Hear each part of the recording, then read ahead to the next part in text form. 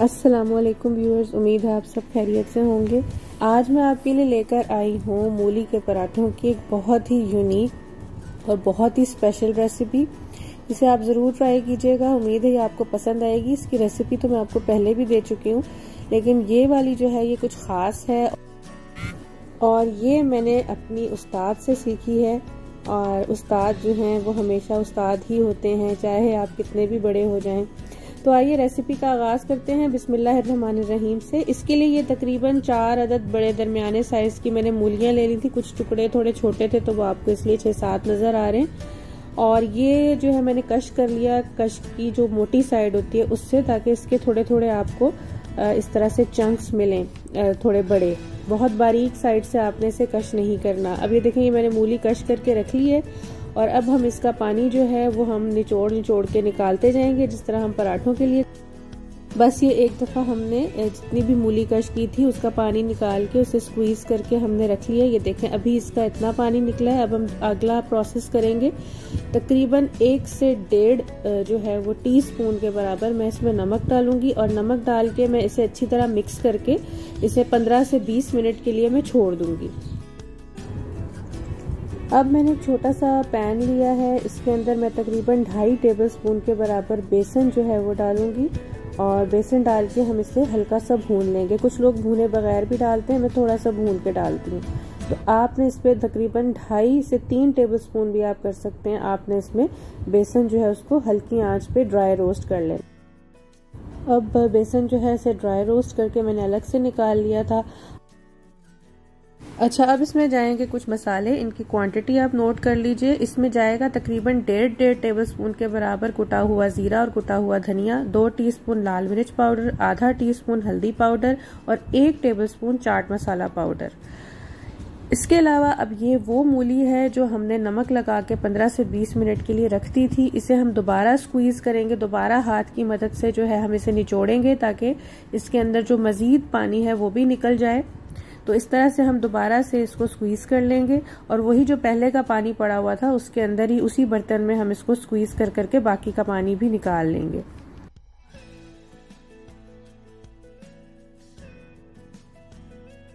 ये देखिए, ये अब तमाम जो पानी था मूली का वो हमने निकाल लिया है। इसमें एक आधा चंक भी आपको मूली का कोई नज़र आएगा। अगर ज़्यादा हो तो आप हाथ की मदद से निकाल के इनको स्क्वीज़ कर लें और वापस जो मूली आपने रखी थी स्क्वीज़ करके उसमें डालते और अगर एक दो चंक रह भी जाएँ तो कोई प्रॉब्लम नहीं। अब ये तकरीबन मैंने आ, आटा लिया है डेढ़ कप के बराबर डेढ़ बाउल आप समझ लें वो मैंने लिया है। और मेरे मुझे इतने ही पराठे बनाने थे और ये इतना ही मेरे लिए काफ़ी होगा। अब इसमें डाल लूँगी मैं तकरीबन एक चौथाई टीस्पून के बराबर नमक और तकरीबन दो टेबलस्पून के बराबर जो है वो फ्रेश कोरिएंडर है, ताज़ा हरा धनिया है और ये अजवाइन है, तकरीबन हाफ़ टी स्पून कुटी हुई। ये मैं डाल दूँ।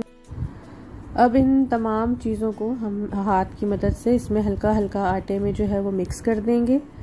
और अब जो है वो इसका मेन और क्रूशल पार्ट आया है, वो ये है कि जो पानी हमने मूली का स्क्वीज करके निकाला था, उसी पानी से हम इस आटे को गूंदेंगे। और इस आटे को है, हमने थोड़ा सा सख्त गूंदना है और गूंदने के बाद हम इसे 15 से 20 मिनट के लिए रेस्ट पे रख देंगे।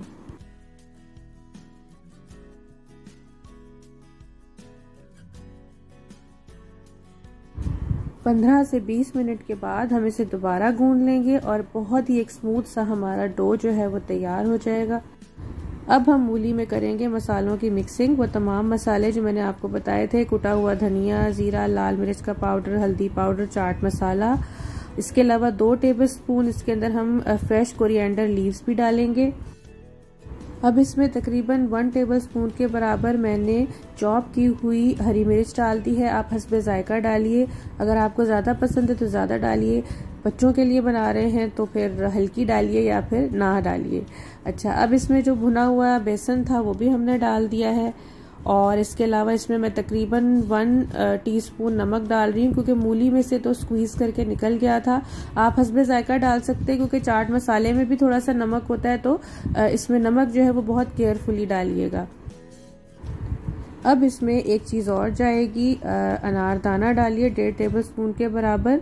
मैंने जरिश इस्तेमाल किया है, दोनों इस्तेमाल किए जा सकते हैं। ये डाल के अब आपने ये तमाम मसाले जो है ये मूली के अंदर मिक्स कर देने हैं अच्छी तरह।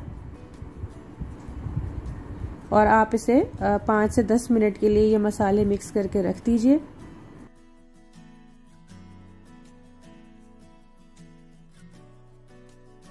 अब किसी भी वोक में या पैन में आप तकरीबन दो टेबलस्पून के बराबर ऑयल ले लीजिए।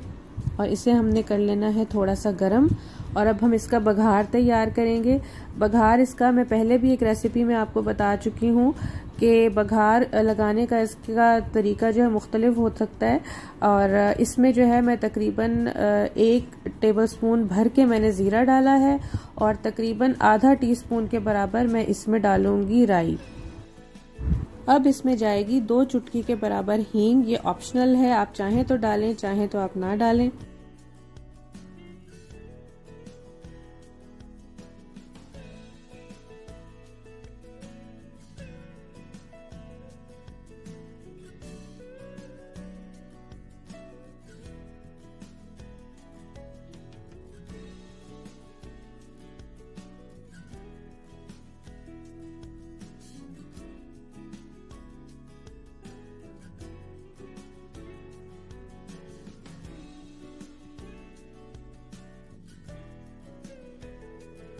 हींग डालने के साथ ही इसमें हमने जो मूली का जो बना के रखा हुआ था आमेज़ा, उसे हम डाल देंगे और अब हम इसे तकरीबन दो मिनट जो है वो लो फ्लेम पर इस पघार में थोड़ा सा दम ले लेंगे, इस तरह हिला लेंगे अच्छी तरह ताकि बघार इसमें मिक्स हो जाए।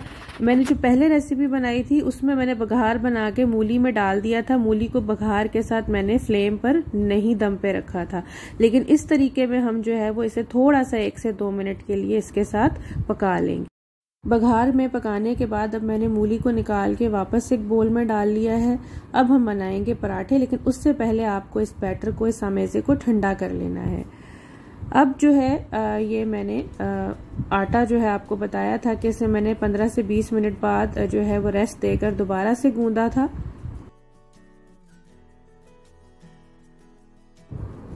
ये आप देख सकते हैं, ये मीडियम हार्ड जो है, ये आटा गूंद के तैयार है। बहुत स्मूथ बहुत अच्छा गूंधा है। अब हम बेल लेंगे इसके पेड़े। आप चाहें तो आप स्टफिंग वाला पराठा बना लें, वो भी मैंने बनाना सिखाया हुआ है। आप मेरी पहली रेसिपीज़ देखिए। और अब मैं इसके दो पेड़े बनाऊँगी छोटे छोटे और इनको हम जो है वो पेड़े बनाने के बाद हम इसको थोड़ा थोड़ा बेल लेंगे। थोड़ी मीडियम साइज़ की रोटियाँ हम दोनों की बेल लेंगे इस तरह से। अब हम इसमें डालेंगे मूली का मिक्सचर जिसे हमने बघार लगाने के बाद थोड़ा ठंडा करके रूम टेम्परेचर पे ला के रख लिया था। अब हम इसे सेंटर में रखेंगे और हम इसके ऊपर जो है वो दूसरी रोटी रख के साइड से हल्का हल्का दबा देंगे और हम इसे हल्के हाथों से जो है वो बेल लेंगे। पहले हमने इसकी साइड सील कर लेनी है अच्छी तरह और इसके बाद थोड़ा सा हल्का सा हमने इसमें खुश्क आटा डाल के इसको हल्के हाथों से हमने पराठे को बेल लेना है।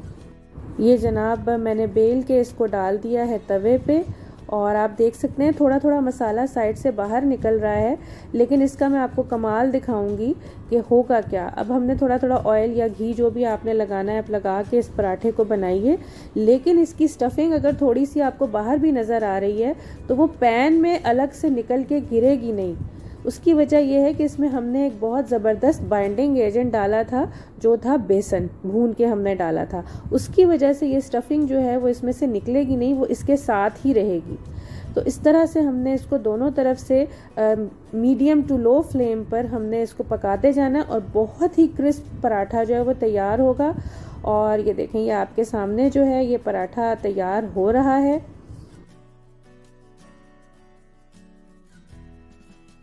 बस ये पराठा अब हमारा बन के तैयार हो गया है। बहुत मज़े का इसे मैंने टिश्यू पेपर पे निकाल लिया है और आप इसे दही के साथ खाइए, आप इसे हरी चटनी के साथ खाइए। ये मैं और भी पराठे बना रही हूँ। बहुत क्रिस्पी पराठे बने थे। आप भी ये रेसिपी ज़रूर ट्राई कीजिएगा। मुझे बताइएगा कि कैसी बनी। अपना बहुत ख्याल रखिएगा। इजाज़त दीजिए। अल्लाह हाफ़